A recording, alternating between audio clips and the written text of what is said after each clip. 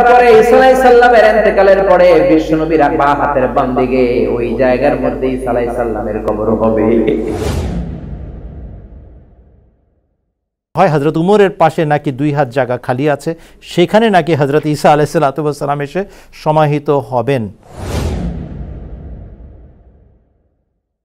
আমার সাথে আমার কবরের ভেতর আমার কবরের মধ্যে কবরস্থ হবে।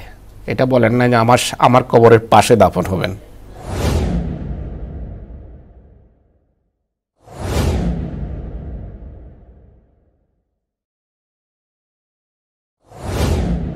বিশ্বনবীর কবরের সামনে যাব খুব ভিড়। ডানে কেবলা হাঁটতে শুরু করলাম। কিছু দূর হাঁটার পরে পায়ে। রাউদাতুল মিন রিয়াদিল জান্নাতের বর্ডার শেষ, ছোট্ট একটা জায়গা। এই জায়গাটা সৌদি গভর্নমেন্ট রেখে দিয়েছে। সৈয়দনা ঈসা আলাইহিস সালাম দুনিয়ায় আসবে। দাজ্জালকে হত্যা করার পরে ঈসা আলাইহিস সালামের ইন্তেকালের পরে বিশ্বনবীর বা হাতের বাম দিকে ওই জায়গার মধ্যে ঈসা আলাইহিস সালামের কবর হবে। ওই জায়গাটা পেরোলাম।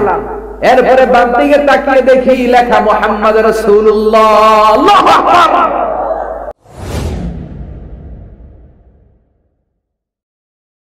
হজরত উমরের পাশে নাকি দুই হাত জায়গা খালি আছে, সেখানে নাকি হজরত ঈসা আলাইসাল্লাম এসে সমাহিত হবেন। দুই হাত কেন? আপনারা বাড়িয়ে নেন। টার্কির সাম্রাজ্যকালে সেখানকার যে মূল মসজিদ, যেটা এখন সবুজ গম্বুজ হিসেবে দেখা দেখা হয়, সবুজ গম্বুজের নিচের যে মূল অংশটা, সেটা হচ্ছে টার্কিশ আমলে নির্মিত অংশ। টার্কিশরা তার গোল দুটা স্তম্ভের পাশে চার কোনাচে দুইটা স্তম্ভ বানিয়ে সেই অংশটাকে আরও বড় করেছিল। কিন্তু মূল হুজরা গোল থামের সাথে সীমাবদ্ধ।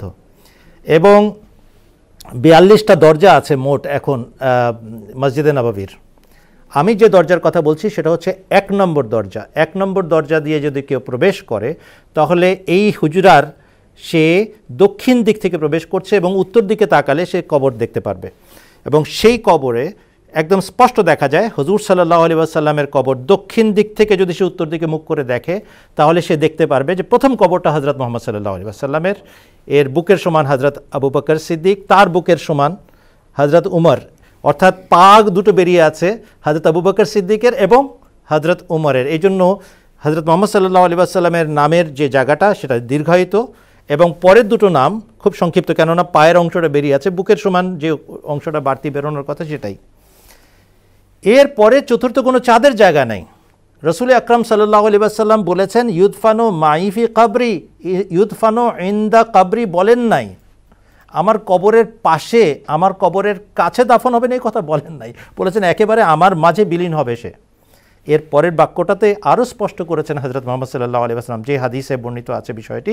বলেছেন, আমি এবং সে, অর্থাৎ হজরত ঈসা আলি ইসলাম যিনি আসতে যাচ্ছেন, তার প্রেমের কথা বলেছেন এত প্রেমে বিভোর হবে সে আমার সত্তায় যে আমি এবং সে একই কবর থেকে আবু বাকর এবং উমরের মাঝখানে কেয়ামতের দিন আবার পুনর পুনরুত্থিত হব। আত্মার কবরের কথা বলছেন বাহ্যিক কবর রসুল্লাহ এক পাশে, বাকি দুই কবর অন্য পাশে। অর্থাৎ তারপরে দুইটা কবর রচিত হয়েছে।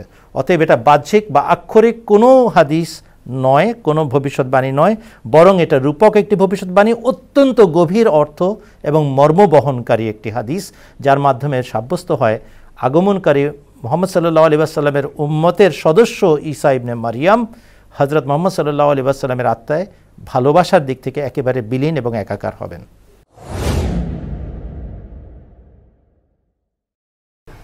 যে, ইউদফানো মাই ফি কাবেরি।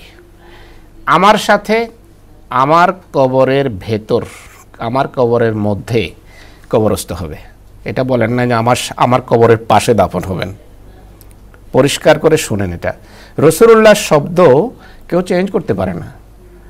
আর কোনো প্রতারক এই বাহানায় সত্যকে অবজ্ঞা করারও কোনো সুযোগ পায় না রসুল্লাহর উক্তির কারণে। এটি সত্যকে হেফাজত করে, সত্যের সংরক্ষণ করে।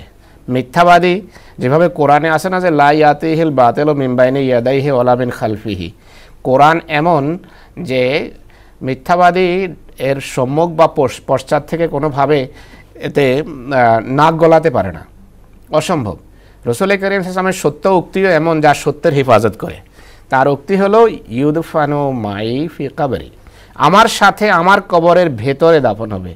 আমার সাথে আমার কবরের পাশে দাফন হবে এই কথাটা বলেননি। তো আমার সাথে আমার কবরে দাফন হবে, এটাকে আক্ষরিক অর্থে কোনো মুসলমান নেবে না। রসুল্লাহর কবর কোনো ব্যক্তির জন্য কখনো খোলা হবে না। কখনো সেটিকে খুলে এর ভিতর এক ব্যক্তিকে কবরস্থ করা হবে, এটি কোনো মুসলমান মানবেই না। অসম্ভব। তার অর্থ হলো, এটি রূপক একটি বিষয়ে। যেভাবে বললাম, রূপক কী অর্থে? এটি সেই হাদিস থেকে, হাদিসের প্রথম অংশ থেকে বোঝা যায়। রসুল্লাহ বলেছেন যে, তার নাম, আমার নাম হবে। তার নাম আমার নামের মতো হবে। এর অর্থ হলো, সে সম্পূর্ণভাবে আমার সত্তায় বিলীন হবে। যেন তার নাম মুহাম্মদ, তার পিতার নাম আমার পিতার নামে হবে। অর্থাৎ তার সূচনা এবং সমাপ্তি পুরোটাই আমার জন্য। আমার সত্তায় সে পুরোপুরি নিবেদিত হবে। আমার ধর্মের জন্য সে বিলীন হবে। আমার ধর্মের প্রচার এবং প্রসারকে সে নিজের জীবন মনে করবে, জ্ঞান করবে। তো ইউৎফানো মাই খবরের অর্থ হলো, তার সমাপ্তিও যেন পুরোটাই আমার জন্য। যেন সে আমার কবরের ভিতরেই তার জীবনের অবসান ঘটেছে। এগুলো রূপক অর্থে দেখতে হবে, রূপক অর্থে নিতে হবে।